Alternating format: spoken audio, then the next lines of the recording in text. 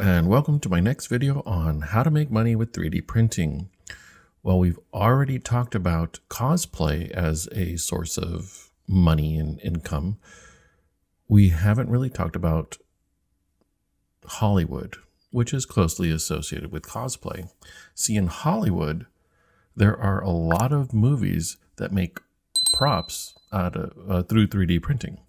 And I'm going to talk about some examples and some different reasons why they would use 3D printing versus making the actual prop out of, I don't know, metal, wood, or anything else. So let's take one example that recently won an Academy Award. the Black Panther, um, as you can see in this picture, her collar and her hat are both uh, 3D printed. And what's interesting is that this movie won, I believe, three Academy Awards, but one of them was for costuming. So what they did actually won an Academy Award, and they had 3D printed um, involved with it. However, let's be clear: this right here, this collar part, was done with lasers and 3D printing, which is a special type of 3D printing, but still 3D printing. I believe this was done um, regularly, but they did it because they needed something that was lightweight and yet strong because she had to move in it. And so it was also faster to do it um, with a machine versus making this by hand. So they saved time, money, and it lasted a long time. Exactly what they needed for this particular movie. Here's another one Coraline. Now, Coraline is a stop motion uh, movie.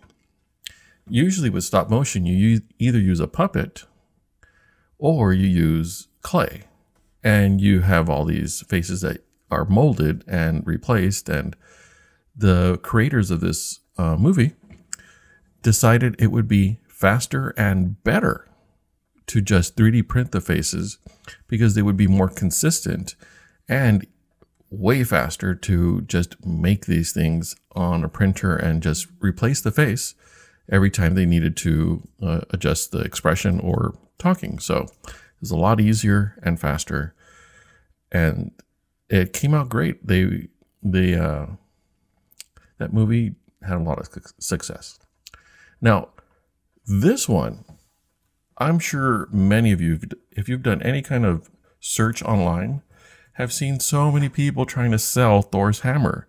But did you know Thor's actual hammer, or hammers, because they have a lot of them in the movies, were 3D printed? Not all of them, most of them. And the reason is because sometimes they needed the hammer to be super lightweight because he's moving it around during a, a battle scene and they can't have him you know carry a super heavy uh, hammer, so they made them lightweight with 3D printing. So obviously it makes sense that now people are making them all the time and you can buy them anywhere, especially Etsy right there. So very cool that in the actual movie they, they did 3D print some of them and now you can too. Here's another example. I know it's another superhero movie, but Deadpool they thought the mask was so important, the one that covers his face, they couldn't have it would just be material. And at the same time, they need they needed it to be exactly Ryan Reynolds' head. So they had to scan his head and then 3D print the things around it so that um, it would be exactly form fitting. But at the same time, as you can see in this picture, they designed it so that they can change the parts easily and still retain the shape. So this guy was saying how there was a little switch at the back where they can press a button and the um, eye covers right here, the black ones would like would pop off, but at the same time they can replace it super quickly while retaining the shape, but change the expression because sometimes uh, the face needed to be super focused and the eyes would be very narrow. Other times you'd be surprised, so they would change it to something like this and have the eyes be really big. So 3D printing is what they used for this to make it um, have the right texture and retain its shape. Great, great idea. Here's another movie where they used 3D printing, but this time it was a, a different reason.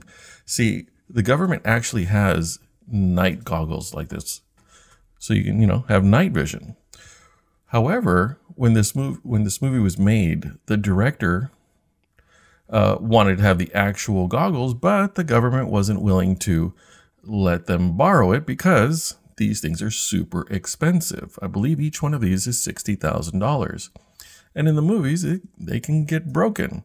And sometimes you need more than one. So the people that make that made the movie thought, you know what? It's probably cheaper and faster to just make our own and we can make as many as we want since you just have to design it once and put it together and it's so much cheaper than having to rent these out for months at a time. Wow, that would be super expensive. So that was the reason it was just cheaper and faster. Notice for a lot of these, I keep saying faster, and that's why they call it rapid prototyping. And of course, everyone knows that Iron Man and 3D printing go hand in hand because every time somebody gets a printer, they have the idea goes through their head that, hmm, maybe I'm going to print myself an Iron Man suit.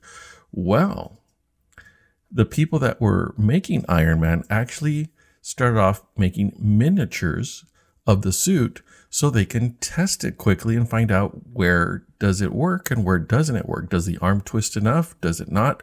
So they made miniatures of the suit out of um, through 3D printing, and once they had it right where it could move correctly, and adjusted it just so that um, it wouldn't fall off in the middle of movement, then they would actually print parts for uh, Robert Downey Jr.'s actual body size. So in testing, they made the prototype out of 3D printing, and some of the parts that were actually on him were 3D printed as well. Not all of them, because, you know, some of these things are CGI, if you haven't noticed, and some of them were, you know, made out of other materials, but 3D printing was definitely part of the process and very cool, if you ask me. And finally, movies in the future will, will definitely be creating more things out of 3D printing, and you don't know where it's going to show up. So, having a career in uh, the film industry and having knowledge of 3D printing can go hand in hand. Here's another example.